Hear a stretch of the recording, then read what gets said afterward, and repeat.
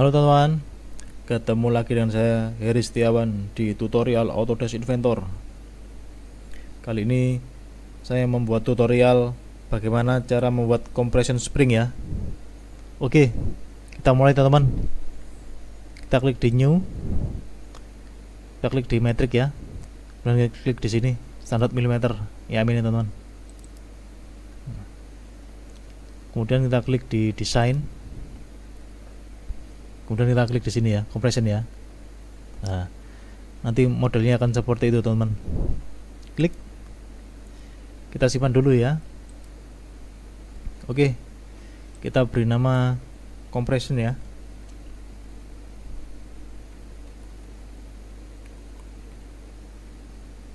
Save.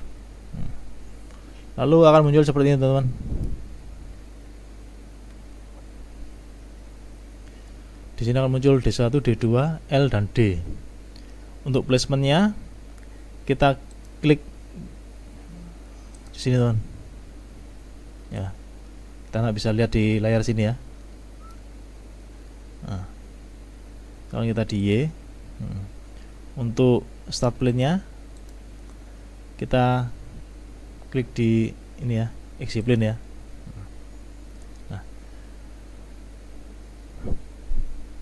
Untuk install lengthnya. Ini ada pilihannya ya min load working load max load sama custom. Kita klik di min load dulu.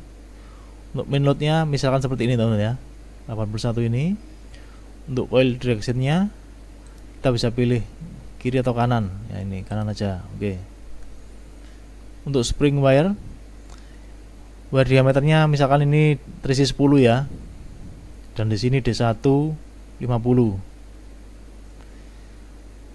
ini D2 dan D akan muncul di sini teman-teman.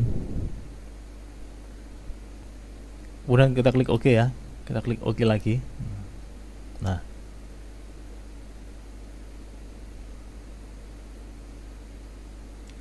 Akan muncul spring seperti ini teman-teman ya.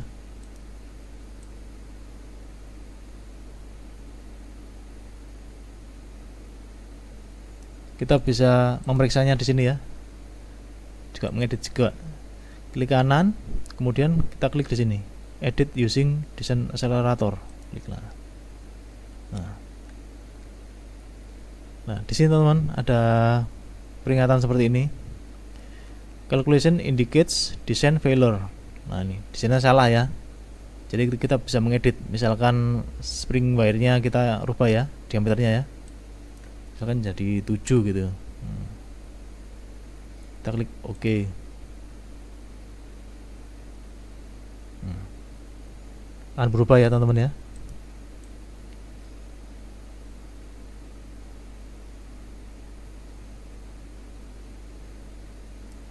Kita proses lagi teman-teman ya. Klik kanan di sini.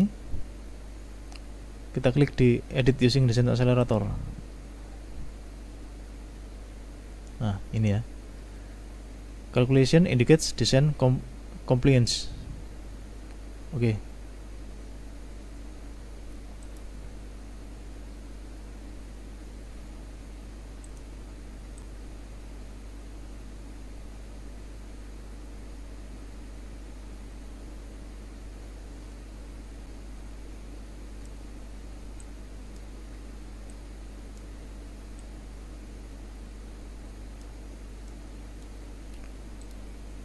Oke teman-teman, sampai di, di sini dulu ya tutorial untuk membuat compression springnya. Sampai ketemu di tutorial selanjutnya teman-teman ya. Terima kasih.